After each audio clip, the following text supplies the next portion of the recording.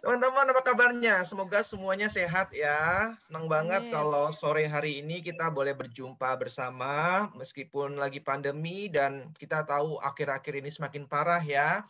Kita mungkin ada yang uh, bertanya dalam hati, Tuhan kapan ini berlalu? Karena capek ya kalau kita uh, ingat-ingat udah dua tahun ya uh, nggak ada progres ke arah yang lebih baik malah semakin meningkat.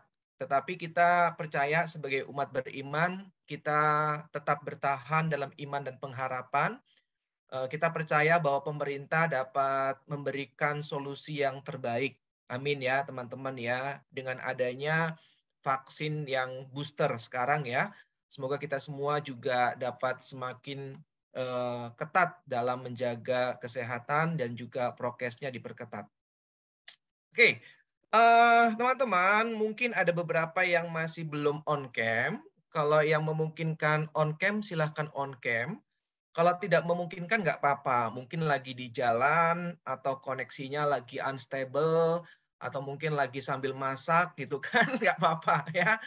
Tapi kalau misalkan memungkinkan untuk on cam, saya ingin mengajak teman-teman untuk on cam ya, yang memang koneksinya nggak bermasalah, kemudian teman-teman udah siap benar-benar siap di depan layar laptop maupun HP, silakan on cam.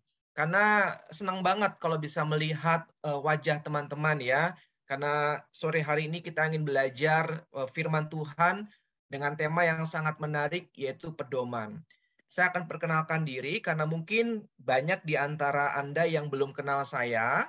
Tadi sudah sempat disebut dalam doanya uh, Brother Adi, Kak Adi ya. Nama saya Elvindes Kapitsa, nama yang cukup unik.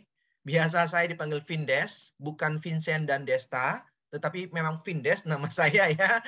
Uh, saya dari paroki Maria Bunda Karmel Tomang dan saat ini saya melayani sebagai pewarta dan pengajar diutus dari kampus ministry.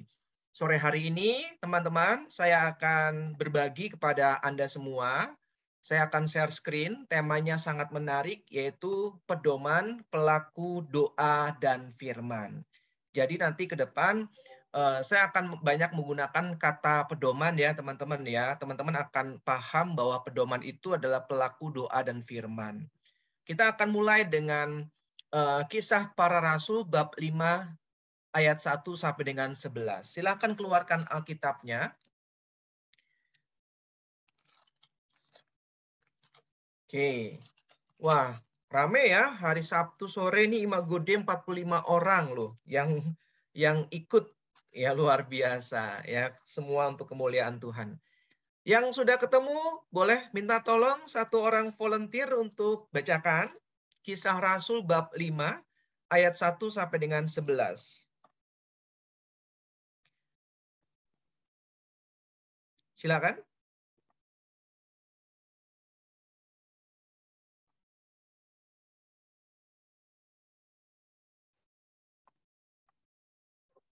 Teman-teman nggak lapar kan ya? Biasa kalau lapar itu kan diem ya. Ini semoga pada nggak lapar. Ya silakan, ada Ronald ya, raise hand. Silakan, Ronald.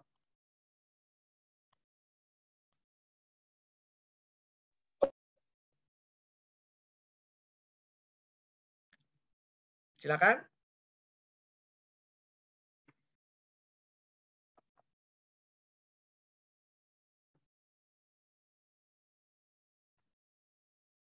Di unmute, Ronald. Oh, yang mute ya, yang mute ya. Oh, udah update ya. Oke, itu lagi ya. Oke, tuh. Mulai pertama, Aranias dan Safira. Ada seorang uh, lain yang bernama Ananias. Dia beserta istrinya bernama Safira menjual sebidang tanah. Dengan setahu istrinya, ia menahan sebagian dari hasil penjualan itu dan bagian lain dibawa dan diletakkannya di depan kaki rasul-rasul. Tetapi Petrus berkata, Ananias, mengapa hatimu dikuasai iblis, sehingga engkau mendustai roh kudus dan menahan sebagian dari hasil penjualan tanah itu? Selama tanah itu dijual, bukankah itu tetap punyaanmu? Dan setelah dijual, bukankah hasilnya itu tetap dalam kuasamu? Mengapa engkau merencanakan perbuatan itu dalam hatimu. Engkau bukan mendustai manusia, tetapi mendustai Allah.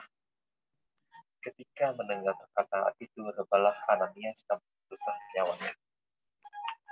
Maka sangatlah ketakutan semua orang yang mendengar hal itu.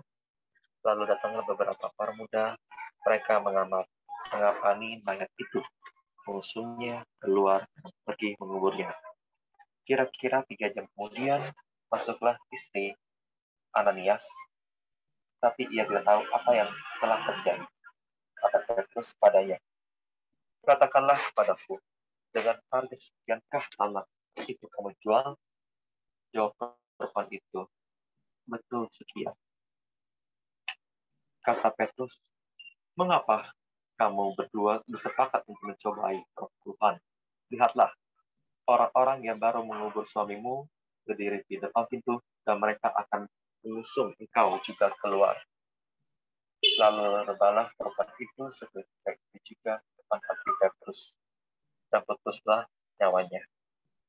Ketika orang-orang muda itu masuk, mereka mendapat Yesus teman. Lalu mereka mengusungnya keluar dan menguburnya bersama suaminya. Maka sangatlah ketakutan seluruh jemaat dan semua orang yang mendengar hal itu. Demikianlah sabda Tuhan, syukur kepada syukur Allah. kepada Allah. Teman-teman, uh, kalau memang dirasa ada beberapa part atau bagian yang penting, silahkan dicatat. Karena uh, ini bagian yang penting sebenarnya menurut saya, bagaimana kita bisa belajar dari dua keluarga. Ah, ada yang bocor? Ah, ah.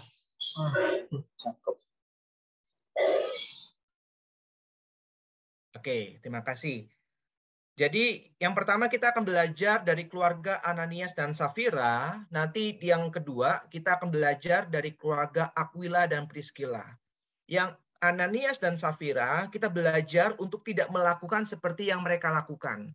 Sedangkan untuk keluarga yang kedua yaitu keluarga Aquila dan Priscilla kita akan mengikuti apa yang mereka lakukan. Karena mereka memang benar-benar pedoman. Mereka pelaku doa dan firman. Sedangkan keluarga Ananias dan Safira justru kebalikannya. Kita akan bahas satu persatu. Yang pertama, kita baca ayat yang pertama.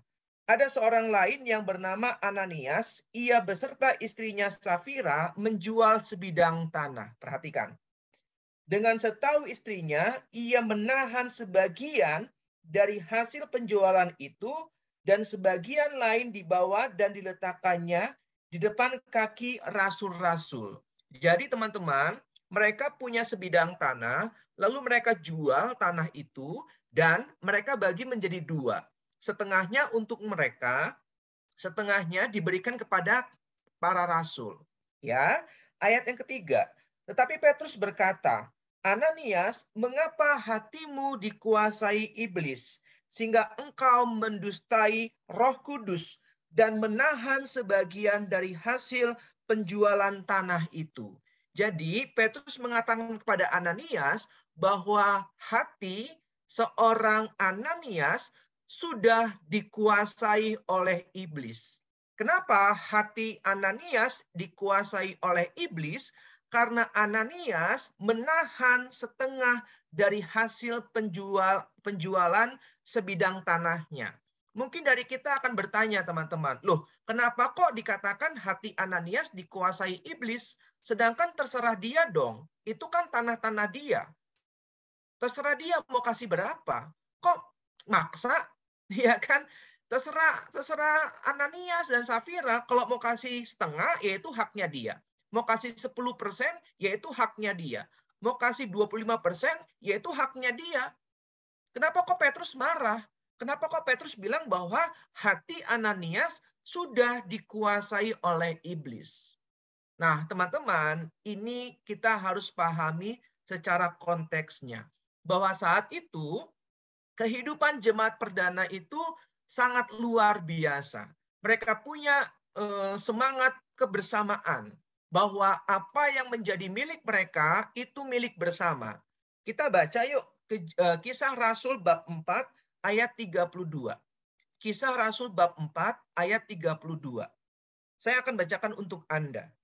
Adapun kumpulan orang yang telah percaya itu, mereka sehati dan sejiwa dan tidak ada seorang pun, perhatikan, tidak ada seorang pun yang berkata bahwa sesuatu dari kepunyaannya adalah miliknya sendiri. Jadi nggak ada seorang pun saat itu yang mengatakan milik dia adalah miliknya sendiri. Nggak ada. Bahwa milik dia adalah milik bersama. Tetapi segala sesuatu adalah kepunyaan mereka bersama. Semangat inilah yang benar-benar dihidupi oleh jemaat perdana saat itu.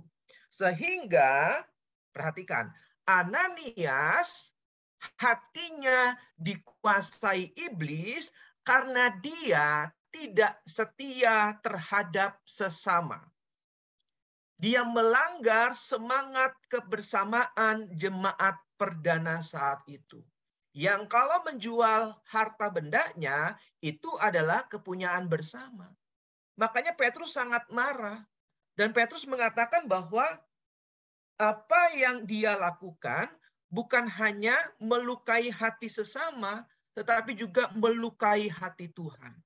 Maka nggak mengherankan kalau kita baca ayat yang kelima, ketika mendengar perkataan itu, rebahlah Ananias dan putuslah nyawanya. Maka sangatlah ketakutan semua orang yang mendengar hal itu. Jadi ini nggak main-main teman-teman. Kalau kita baca ayat yang keempat, dikatakan bahwa mengapa engkau merencanakan perbuatan itu dalam hatimu? Engkau bukan mendustai manusia, tetapi mendustai Allah. Lalu kalau kita baca ayat yang ketujuh, kira-kira tiga jam kemudian masuklah istri Ananias, yaitu Safira. Kata Petrus kepadanya, katakanlah kepadaku dengan harga sekiankah tanah itu kamu jual? Jawab perempuan itu, betul sekian. Kata Petrus, mengapa kamu berdua bersepakat untuk mencobai roh Tuhan? Perhatikan teman-teman. Lihatlah orang-orang yang baru mengubur suamimu berdiri di depan pintu dan mereka akan mengusung engkau juga keluar. Ayat yang ke-10. Lalu rebahlah perempuan itu seketika itu juga di depan kaki Petrus dan putuslah nyawanya. Teman-teman, kehidupan Ananias dan Safira merupakan kehidupan keluarga yang tidak digerakkan oleh doa dan firman. Kalau kita mau belajar bahwa kita dapat belajar dari perbuatan tidak baik orang lain untuk kita hindari dan tidak melakukan perbuatan itu. Maka sebaliknya, kalau hidup kita dikuasai oleh doa dan firman, maka kita akan hidup dalam kejujuran. Maka kita akan hidup dalam kemurahan hati. Itu pedoman, itu pelaku doa dan firman. Sedangkan Ananias dan Safira tidak melakukan itu. Mereka melanggar semangat kehidupan bersama jemaat perdana saat itu. Mereka melanggar komitmen yang sudah dibangun. Karena mereka bernegosiasi dengan uang. Maka pesan apa yang dapat kita petik dalam kisah keluarga Ananias dan Safira? Yang pertama teman-teman, pedoman, pelaku doa dan firman adalah mereka yang hidup dalam kejujuran. Amin. Tuhan tidak berkenan akan ketidakjujuran. Apalagi apalagi menyangkut soal uang. Hati-hati. Karena akar dari segala kejahatan ialah cinta akan uang. Nah, uang itu hamba yang baik, tetapi tuan yang jahat. Berapa banyak orang yang mau mendapatkan uang instan, main binary option, investasi di robot trading, yang ternyata semua itu ilegal. Dan banyak anak-anak Tuhan masuk dalam perangkap mereka. Saya bilang ke teman-teman saya, kalau mau uang kerja, hati-hati teman-teman dengan uang. Karena cinta akan uang adalah akar dari segala kejahatan. Uang adalah hamba yang baik, tetapi uang juga adalah tuan yang jahat. Jangan sampai kita seperti Ananias dan Safira yang lebih mencintai uang dibandingkan kehidupan bersama saudara-saudarinya. Daripada taat terhadap Tuhan, mereka lebih suka untuk menyimpan uang. Ya, jadi teman-teman, mari kita sama-sama belajar nih. Kalau kita hidup sebagai pedoman, maka kita akan hidup dalam kejujuran. Jangan sampai kita mau dimanipulasi. Jangan sampai kita mau masuk dalam perangkap. Di dunia ini, teman-teman tidak ada yang instan.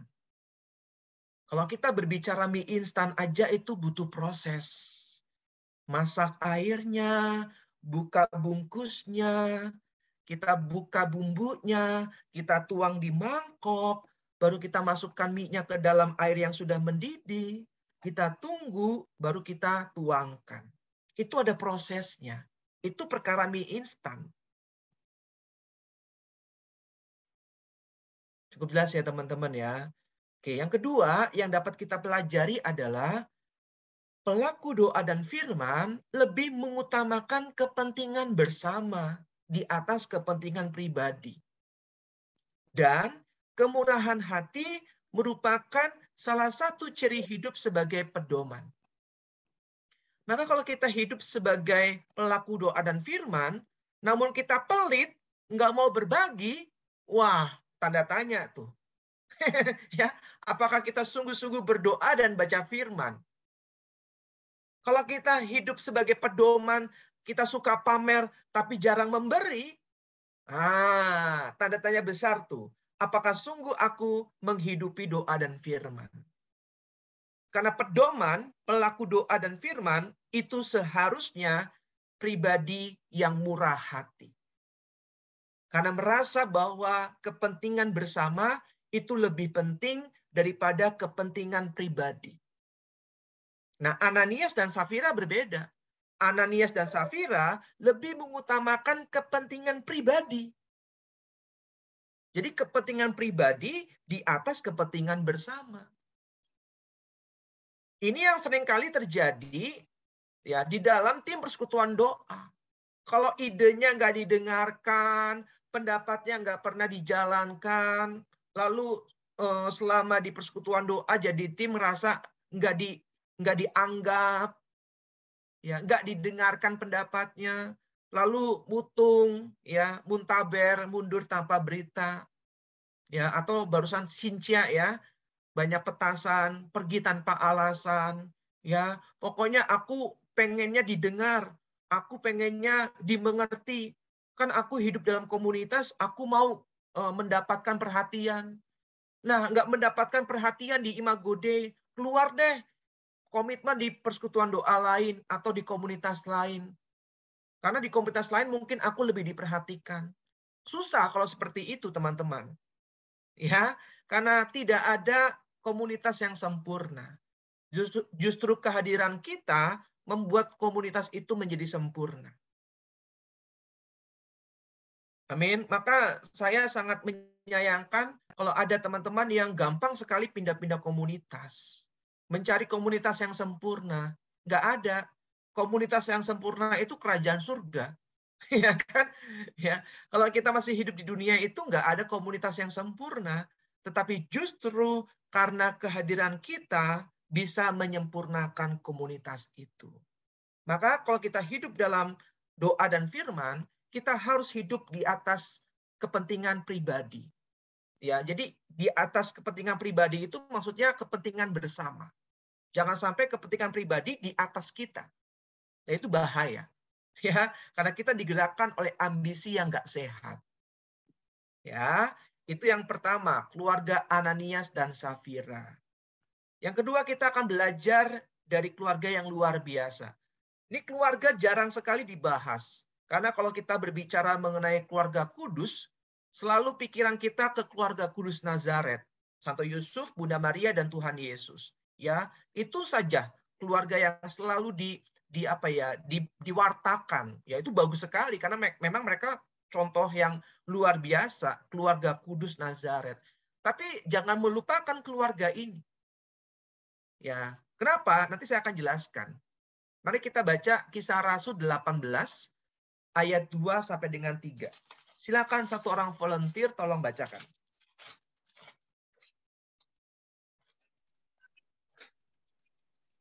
Di Korintus ia berjumpa dengan seorang Yahudi bernama Aquila yang berasal dari Pontus.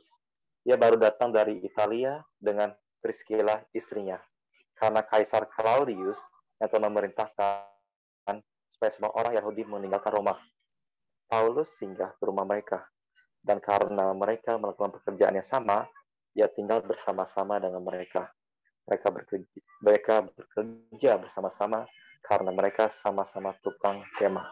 Oke, okay, thank you. Kalau kita baca ayat yang pertama, kemudian Paulus meninggalkan Athena, lalu pergi ke Korintus. Perhatikan, di Korintus ia berjumpa dengan seorang Yahudi bernama Aquila yang berasal dari Pontus. Ia baru datang dari Italia dengan Priscilla istrinya karena Kaisar Claudius telah memerintahkan supaya semua orang Yahudi meninggalkan Roma. Jadi Aquila dan Priscilla ini orang Yahudi, mereka menetap di Italia, di Pontus, ya. Lalu saat itu Kaisar Claudius eh, mengusir orang-orang Yahudi untuk meninggalkan Roma dan saat itu mereka pindah ke Korintus. Di Korintus mereka punya toko karena mereka tukang kemah sama seperti Paulus. Maka kita baca, Paulus singgah ke rumah mereka. Paulus di kota Korintus itu kurang lebih satu setengah tahun, teman-teman. Satu setengah tahun. Jadi Paulus itu nggak pernah lama di suatu tempat. Paling lama dua tahun. Setelah itu dia pindah. Di Korintus, dia satu setengah tahun. Dan selama satu setengah tahun, dia tinggal di rumah Aquila dan Priscilla ini. Ayat yang ketiga. Dan karena mereka melakukan pekerjaan yang sama, ia tinggal bersama-sama dengan mereka. Mereka bekerja bersama-sama. Perhatikan, mereka bekerja bersama-sama. Di Paulus, Aquila, dan Priscilla, mereka bekerja. Mereka nggak nganggur. Ya, karena mereka sama-sama tukang kemah. Jadi Paulus itu menitipkan tendanya. Karena Paulus itu pembuat tenda. Nitip di tokonya Aquila dan Priscilla. Mereka kerjasama, teman-teman. Jadi Paulus itu juga selain penginjil, dia juga pengusaha. Dia penjual tenda. Dan saat di Korintus, dia nitipin tendanya di toko Aquila dan Priscilla. Nah, ya. Kemudian, Roh Kudus menuntun mereka untuk mengenal Kristus.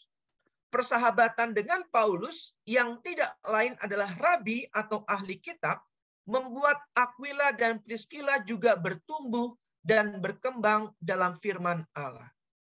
Jadi teman-teman kalau kita mau bertumbuh dan berkembang dalam doa dan firman, maka kita harus bergaul dengan orang-orang yang juga hidup dalam doa dan firman. Gak bisa enggak. Jadi kalau kita lihat sekarang, siapa inner circle kita, teman-teman terdekat kita, mereka sudah hidup dalam doa dan firman belum? Kalau misalkan belum, jangan harap kita bisa bertumbuh dalam doa dan firman juga. Maka inner circle kita itu penting teman-teman. Untuk kita dapat menjadi pedoman. Pelaku doa dan firman.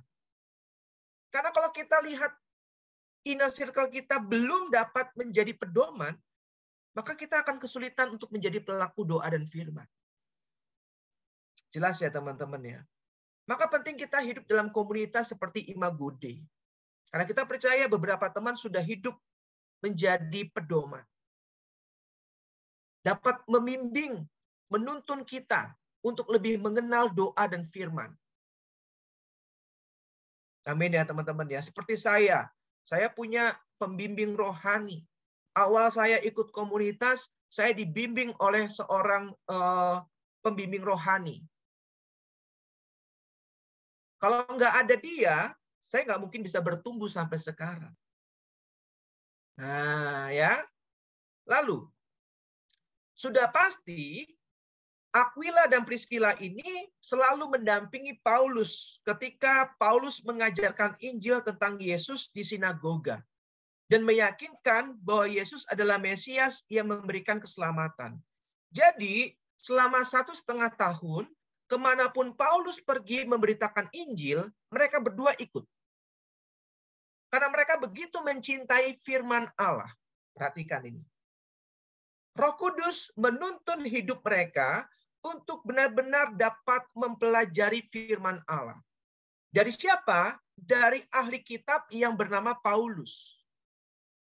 Nah, jadi kalau kita mau benar-benar bertumbuh menjadi pedoman, kita harus mengerti doa dan firman dengan baik, maka kita butuh pembimbing. Kita butuh mentor nih. Ya, agar dapat membantu kita bertumbuh dalam doa dan firman, setelah kita bertumbuh dalam doa dan firman, kita bisa menjadi pelaku firman. Kita belajar menjadi pelaku dan eh, pelaku doa dan firman. Tapi kalau kita nggak punya pembimbing, kita nggak tahu bagaimana caranya berdoa, kita nggak tahu bagaimana caranya membaca kitab suci, ya bersyukur Imagonia ada renungan harian. Iya kan? Tapi kan komunitas lain belum punya. Iya kan? Nah, ini penting teman-teman. Maka kalau kita mau bertumbuh, kita harus benar-benar dapat memiliki seorang pembimbing rohani. Ya, komunitas itu penting. Ya, seperti Aquila dan Priscilla, dia memiliki Paulus. Ke mana pun Paulus pergi, mereka ikut karena mereka mau belajar. Ya, coba sekarang lihat, ingat lagi siapa inner circle kita. Jangan-jangan mohon maaf teman-teman, inner circle kita suka ngegibah, suka ngejulit. Dan sering kali saya bangga ya habis ngegibah bareng, update di Instastory. Teman ngegibah, ngegibah kok bangga. saya bingung loh. Kalau saya baca status teman-teman ya beberapa gitu ya. Wah, teman ngejulit ya, habis ngejulit bareng saya mikir gitu, ngejulit kok bangga gitu kan, sampai harus diinfokan di sosial media gitu kan. Ini kan lucu gitu kan. Kita anak Tuhan, mana boleh ngejulit, mana boleh ngegibah gitu kan. Mana boleh ngomongin orang. Ini sampai update di status habis ngejulit. Ya ampun gitu kan. No, itu bukan pedoman. Itu bukan pelaku doa dan firman. Amin ya teman-teman ya. Pelaku doa dan firman nggak ngomongin orang di belakang. Mau bertumbuh, sungguh-sungguh bertumbuh. Ya, nanti saya akan jelaskan di bagian belakang. Ya, Oke, kemudian selanjutnya selama satu tahun enam bulan Paulus mengajarkan firman Allah di Korintus. Maka tidak mengherankan jika keluarga ini semakin mencintai firman Allah dan mengenal Kristus. Maka teman-teman, Santo Hieronymus itu bilang apa? Tidak mengenal kitab suci, maka tidak mengenal Kristus. Banyak orang muda Katolik, mohon maaf teman-teman, mohon maaf, itu akhirnya suka jajan. Saya nggak sebutkan nama gerejanya. Inisialnya aja, GPCC. suka Wah, quote dari beberapa, mohon maaf, hamba Tuhan pendeta, itu dikutip. Ya, Salah enggak? Enggak salah, selama itu sesuai dengan ajaran gereja Katolik. Tapi kalau itu bertentangan, nah itu yang bahaya. Kita kan nggak tahu ya ajaran dari gereja itu sesuai dengan ajaran gereja Katolik atau enggak. Nah, maka kita harus hati-hati, nggak boleh sembarangan posting. Ya, identitas kita itu umat Katolik, teman-teman. Umat Katolik ya kita harus baca buku Katolik. ya kan? Kita bukan umat yang lain kok. Iya kan? Ya kita harus mendengar khotbah dari romo, dari pastor. Ya. Ini penting teman-teman untuk kita bisa bertumbuh dalam iman Katolik kita. Jangan suka jajan di tempat yang yang yang yang lain gitu kan. Jangan-jangan nggak cocok dengan kita nanti kolesterol loh kita. Nah, paham ya teman-teman ya. Maka itu saya kadang-kadang berpikir gitu kan, ayo dong orang muda Katolik bangga dengan kekatolikan. Tunjukkan identitas kita. Kenapa sih harus suka jajan di luar sana? Kita punya eh, ajaran dari Bapak Gereja bagus-bagus, keren-keren. Quote-nya juga bagus-bagus. Kenapa quote-nya itu kok selalu mengutip kata-kata dari Bapak Pendeta gitu kan? Sedangkan kita punya Mother Teresa, love until it hurts, mengasihi sampai terluka. Kenapa itu nggak yang posting? Ya kan? Banyak sekali quote-quote dari Santo Santa yang bagus-bagus. Kenapa kok nggak diposting? Nah, teman-teman, maka kita harus bertumbuh. Ayo bertumbuh dalam firman Allah, dalam terang tradisi gereja Katolik. Karena kalau enggak, takutnya nanti salah tafsir. Jelas ya teman-teman ya. Maka kalau kita berbicara mengenai pedoman pelaku doa dan firman, harus dalam terang tradisi gereja. Nggak bisa enggak. Ya, tiga pilar ya teman-teman ya. Tradisi suci, magisterium, dan kitab suci itu sendiri. Ya, itu kalau kita mau bertumbuh dalam doa dan firman. Lalu yang berikutnya, pesannya. Meskipun Aquila dan Priscilla, oh waktu saya tinggal 10 menit lagi ya, berarti udah habis jangan-jangan ini. ini uh, chatnya dari jam berapa?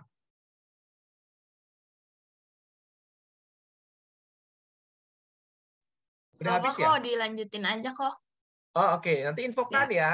Saya baru baca, maaf ya.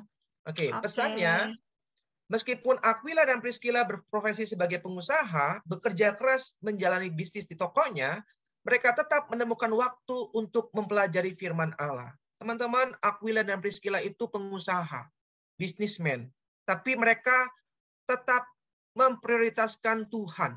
Mereka tetap mempelajari firman Allah. Mereka selalu menemukan waktu untuk membaca kitab suci.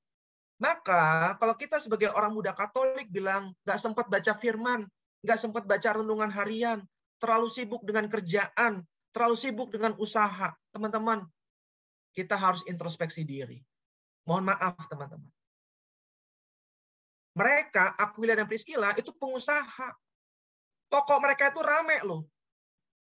Lo tahu dari mana? Nanti saya akan jelaskan. Ya kan? Jadi teman-teman, mereka itu meskipun pengusaha, mereka kaya, tapi mereka selalu menyediakan waktu untuk baca firman.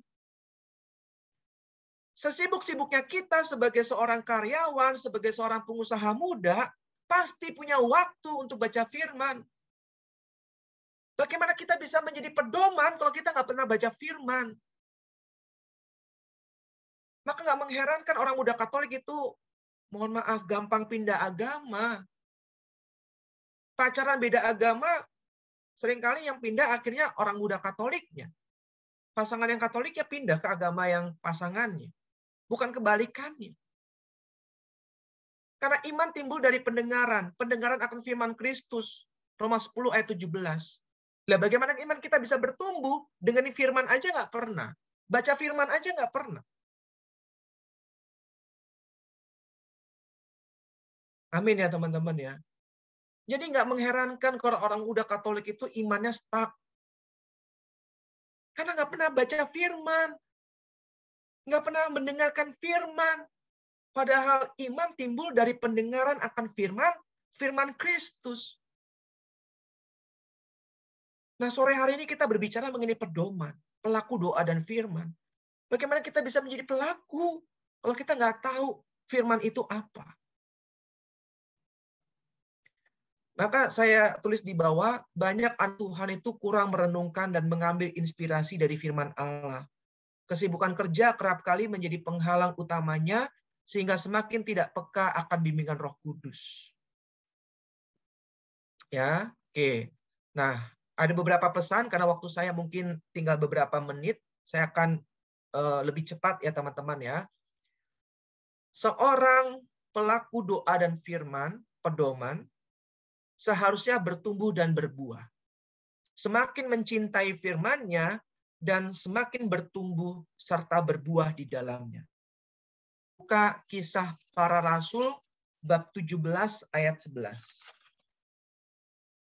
Satu orang volunteer tolong bacakan agak cepat ya teman-teman. Kisah Rasul 17 ayat 11.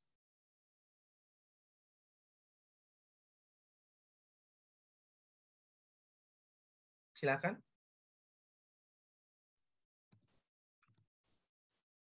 Orang-orang Yahudi di kota itu lebih baik hatinya daripada orang-orang Yahudi di Tesalonika karena mereka menerima firman itu dengan segala kerelaan hati, dan setiap hari mereka menyelidiki kitab suci untuk mengetahui apakah semuanya itu benar demikian. Oke, Petris, saya mau tanya sama kamu.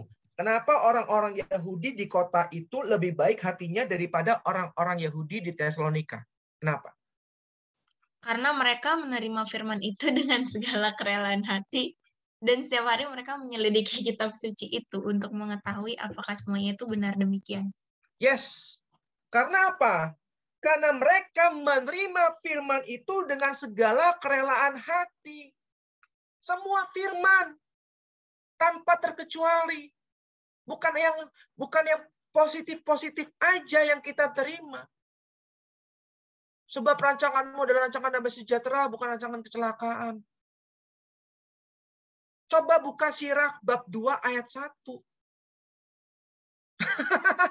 Coba baca tuh. Ya, kita lihat ya. Coba, Petris tolong buka sirah bab 2 ayat 1. Ini yang kita jarang sekali bahas. Yang dibahas rancangan Tuhan, damai sejahtera, bukan rancangan kecelakaan. Nggak salah, teman-teman. Tapi semuanya harus diterima dengan rela hati. Silakan, Petris. Sirak bab 2 ayat 1 ya, kok. Anakku, jikalau engkau bersiap untuk mengabdi kepada Tuhan, maka bersedialah untuk pencobaan. Nah, loh. Kenapa ini jarang dibahas? Jelas ya, teman-teman ya. Jadi, kenapa orang-orang Yahudi di kota itu lebih baik daripada orang-orang Yahudi di Tesalonika? Karena mereka menerima semua firman, semua, nggak pilih-pilih ayat dengan kerelaan hati, perhatikan, dan setiap hari mereka menyelidiki kitab suci setiap hari. Bukan saya yang bilang loh, kitab suci yang bilang loh. Setiap hari mereka menyelidiki kitab suci untuk mengetahui apakah semuanya itu benar demikian. Maka tadi saya bilang berkali-kali, kalau kita mau jadi pedoman, harus paham kitab suci harus paham firman Allah dan menyelidiki setiap hari. Menerimanya dengan rela hati. Maka kita bisa belajar menjadi pedoman. Orang-orang itu lebih baik hatinya daripada orang-orang Yahudi di Tesalonika. Lebih baik hatinya. Karena mereka hidup dalam firman. Menjadi pedoman. Yang kedua, ini saya lewat ya teman-teman ya, karena waktu terbatas. Kalau di sini kita lihat ya, Apolos itu seorang ahli kitab suci. Nanti silakan baca Kisah Rasul bab 18 ayat 24 sampai dengan 26. Tapi ada bagian yang nggak pas.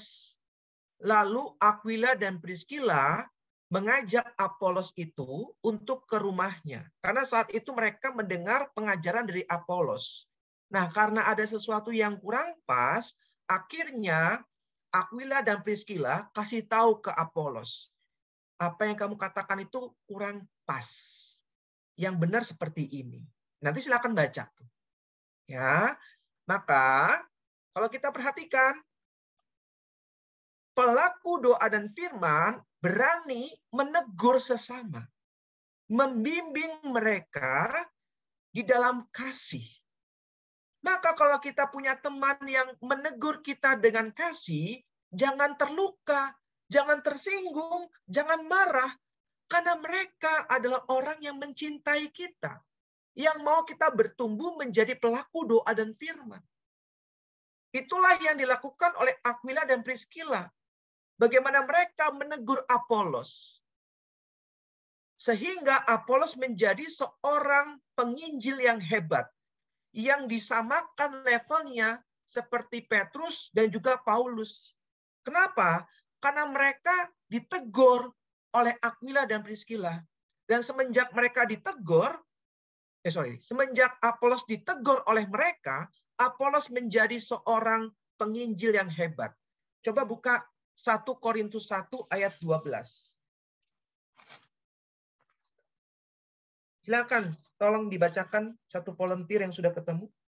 1 Korintus 1 ayat 12.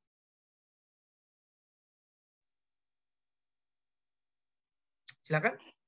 Yang aku maksudkan ialah bahwa kamu masing-masing berkata, aku dari golongan Paulus, atau aku dari golongan Apolos, atau aku dari golongan Kefas, atau aku dari golongan Kristus. Oke, okay, thank you Ronald. Jadi jelas ya teman-teman ya, Apolos masuk dalam bilangan Paulus, Petrus, bahkan Kristus. Hebat kan? Tetapi kenapa dia bisa sampai selevel dengan Petrus dan Paulus? Karena sebelumnya ia dengan rendah hati mau dibimbing oleh Aquila dan Priscilla.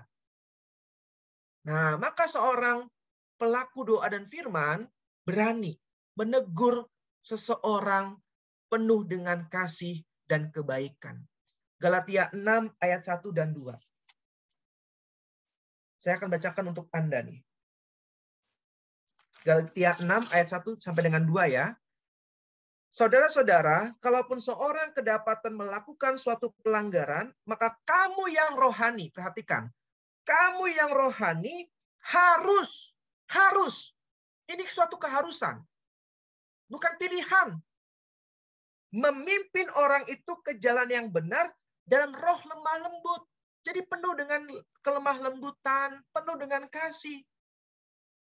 Enggak menegur dengan penuh amarah, penuh kebencian. Bukan seperti itu cara anak Tuhan. Pelaku doa dan firman membimbing, menegur di dalam kasih, di dalam kelemah lembutan. Ya, perhatikan. Sambil menjaga dirimu sendiri supaya kamu jangan kena pencobaan. Jadi kita juga berjaga-jaga. Bertolong-tolonganlah menanggung bebanmu, demikianlah kamu memenuhi hukum Kristus. Ini pedoman nih, pelaku doa dan firman yaitu saling tolong menolong. Dengan demikian kita melakukan hukum Kristus. Amin. Nah, terakhir nih teman-teman. Terakhir ya, mohon maaf kalau waktu saya agak ngaret.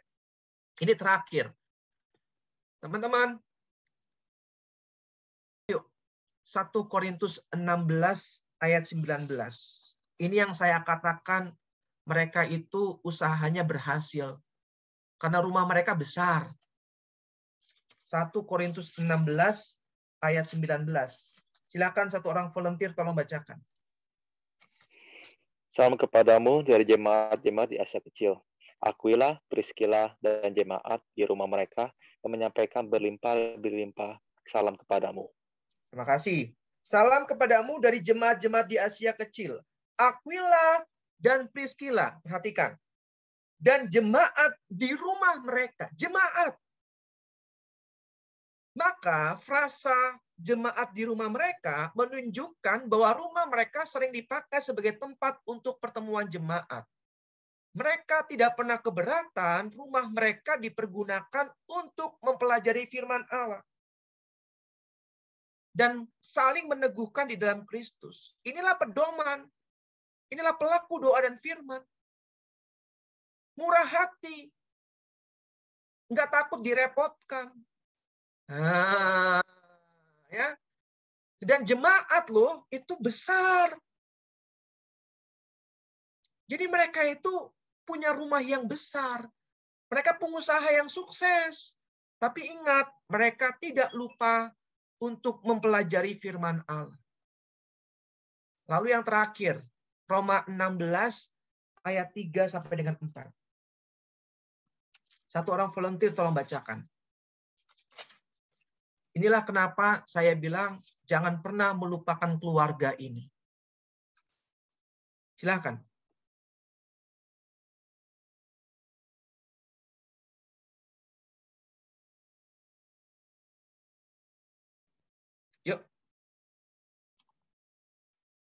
Roma 16 ayat 3 sampai dengan 4. Yuk silakan. 16 ayat 3 sampai 4. Yes.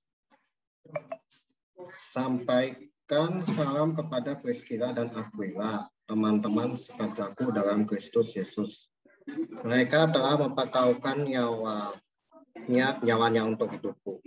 Kepada mereka bukan aku saja yang berterima kasih, tetapi juga semua jemaat bukan Yahudi. Oke, terima kasih ya Mas.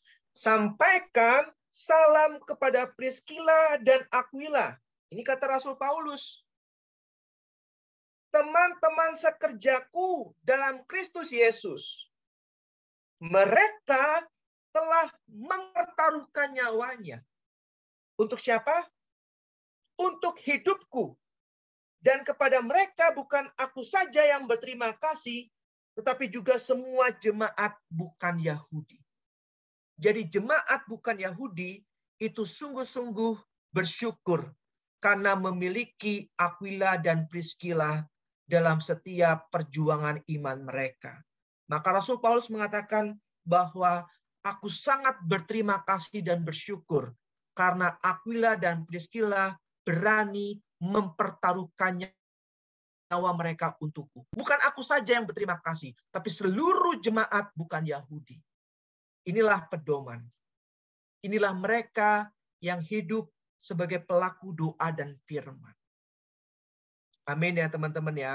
Maka kalau kita mau bertumbuh, ayo teman-teman, kita sungguh-sungguh memiliki pembimbing rohani seperti Aquila dan Priscilla memiliki Paulus sebagai mentor, sebagai pembimbing rohani mereka. Ya, karena kalau tidak ada mentor sulit untuk bertumbuh. Ya, yang kedua, mari kita punya komunitas yang saling mendukung. Kalau kita salah, kita berani dengan rela hati dengan rendah hati ditegur.